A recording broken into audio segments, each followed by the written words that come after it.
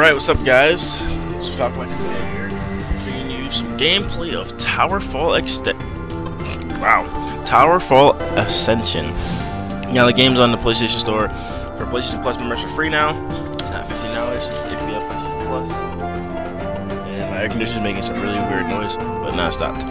But anyway, so right now we're gonna check out the game. I'm gonna, I guess I'm gonna do like a semi, like a small review of how I feel about the game.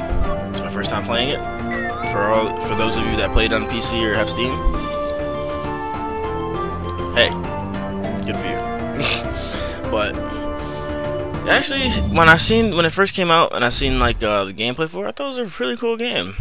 But I think it's a really cool game when you have friends that are willing to play it. Now, most of my friends do not want to play this game or would never play this game. I don't know why. I think it's fun. I mean, it's different. I know the graphics like aren't like crazy good like AAA games, but wow, I died already. Holy smokes! I know it doesn't have graphics like uh, a any AAA title, but still, like that's fine. I think it's the gameplay that we go for nowadays, right? Depending on the, I guess depending on the person, some decide to go for the graphics and the capabilities of the hardware of like the next gen consoles. So, I mean, to me, it's not a big deal. To others, it may be. Whatever. So, this is stage one. Now, what I noticed, it looked like, oh, run, run. Oh, I didn't know. I thought I'd die if I jumped down there. Um, so, so far what I've noticed about this game is that, one, it's 8-bit, maybe even, eh, yeah, it's 8-bit, it's 8-bit. But, besides that, there's different rounds in each stage, I'm assuming, so, yeah, when I just uh, killed all the enemies, you completed a round. Uh, uh, I'm gonna assume that this is story mode, and that you have to complete a new, like a number of challenges in each stage. Which I mean, I guess that's okay, but it feels like it'll take long. So I guess it has like a lot of replay replayability. Oh, I got the two for one. I made it rain on them blobs. Um, come on. Jeez, I suck. I really suck at this game. I'm not that good. So now we're on round four, as you can see. And they turned the lights. That's I guess.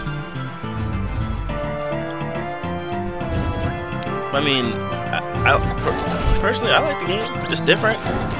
It's not like your typical, you know, title. It's, it's different. I like that. I like how the mechanics, like, are, the controls are a little funky as far as like aiming and shooting the arrow and stuff.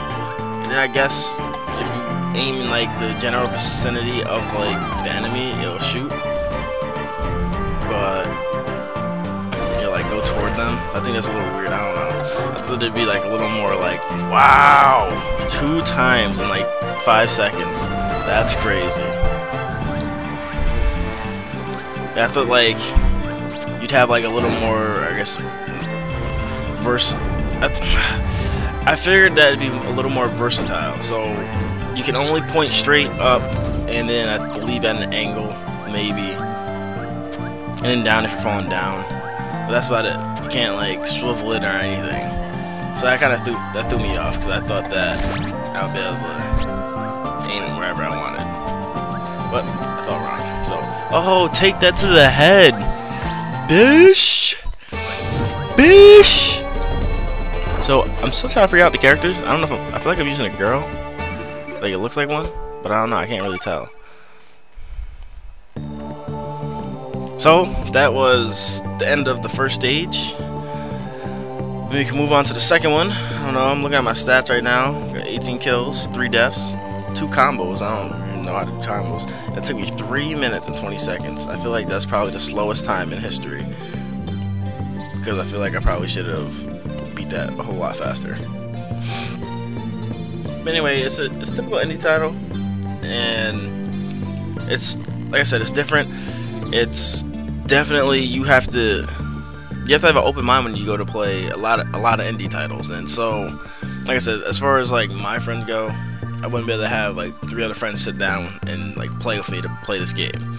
They're like so gun ho AAA, and it kind of sucks, you know. I wish they would, uh, not wish, but I hope eventually down the line that they put an online mode for Titanfall Ascension, PS4 version because I mean I have like one or two friends that online that play it, but my like immediate friends they would never play this.